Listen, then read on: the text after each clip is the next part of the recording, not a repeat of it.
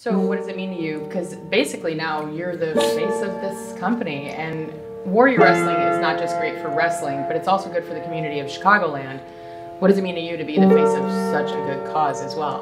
Oh, it's awesome. I mean, ladies, I know you know this this promotion too, the show's hope raise money for charity for, for scholarships for the school as well, and so it's awesome to be able to be part of that and to be the face of any company, especially one that uh, I'm enjoying so much is, is awesome. I, I I'm talking to you about facing Johnny Impact tomorrow for the Impact World title, how I've never really gotten the opportunity to really be the guy in any promotion, any major promotion. So to be able to be here, be so happy and content here, and be able to be the face of the company and hold this world title, I mean, it's, it's awesome. It means, it means the world to me.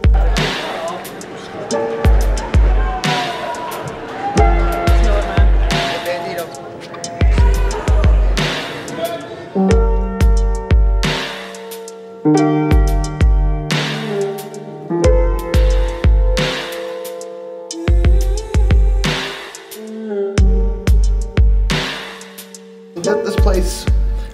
from the very first show, I was uh, I was unsure. Whenever there's a new show pops up, a new federation, a new promotion, you're always a little, uh, I guess, in question of like how it's going to go. Because a lot of people kind of, you know, have uh, hopes and dreams of, of and high aspirations, and the show just always blows up or it's a cluster or whatever. And it was a stacked show, so you're like, hey, let's, let's look like it should be great, and it was phenomenal. It was probably I said the best first ran show I've ever been a part of, I've ever seen from any company. Um, and then to be able to be in a, an original concept, the, the War of Attrition match, which is very hard in this day and age to be new and different in wrestling. Uh, I thought the match was, was great. Uh, I thought it was an awesome idea. And to come on top and be the champion and be the first one here at this Yeah. company, which is uh, fast becoming one of my favorite places to work, um, was tremendous.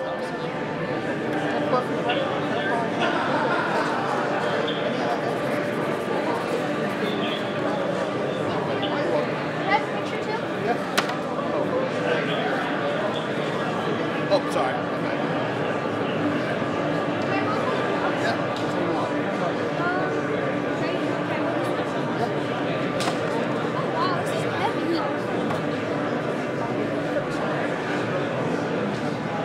How do you carry this around?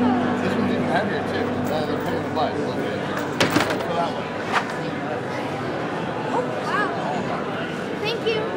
Watched the little kid that picked up the belt. He was like, "Whoa, this is so heavy!" and just seeing the look on both of your faces, to me, that's superhero right there. Oh, it's, it's awesome. It- when I ever, you know, it doesn't even, like you said too, it can be a child, it can be an adult. Whenever I hear anybody tell me that I've motivated them, whether it's to pursue some aspiration, pursue a hobby, you can lose weight, whatever it is, uh, it means the world to me because I, I know what it's like being, you know, in, in that seat of being a fan of somebody and having something that they say or do inspire you to achieve some sort of aspiration or, or achieve a goal or, or go after it. So to get that feeling back, you know, reciprocated, uh, and and and two to, to feel like I'm still a pretty humble guy, so to think, oh, I'm just you know some like whatever wrestler, and have someone look up to me like that, or say that I've given them you know motivation or, or, or just encourage them to do whatever they're going after. It's it's awesome. It- Yeah. it- it's it's a little bit of a uh, just a wake up call. Like wow, man, this is this is this is crazy.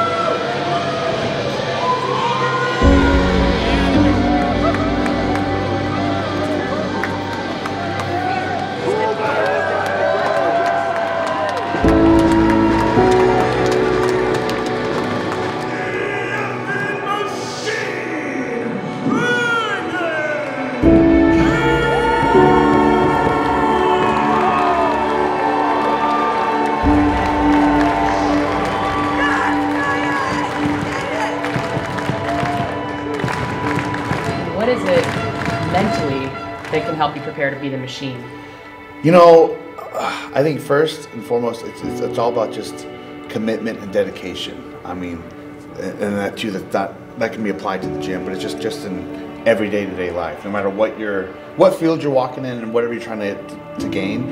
If, as they say, if it was easy, everyone would be doing it. So Right. if you're trying to get somewhere, it just focusing on that mindset. I've been I've been lucky enough that whatever I'm trying to do, I can just flip it on like a switch. Like, all right, this is it. I'm doing this. I'm sticking to this. I'm doing this. I'm getting here. I'm doing that. Whatever the case may be. It doesn't matter what naysayer comes the way, what you know setback, what roadblock.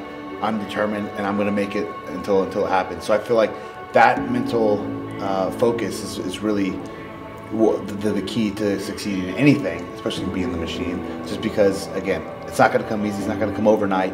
You have to be patient, but consistency is the key, and just be steadfast and strong and dedicated and determined to make it happen. Because I feel like it's really you versus the world. It's you know you versus you. So only you can really make yourself fail, and uh, the only way to really fail is to never try.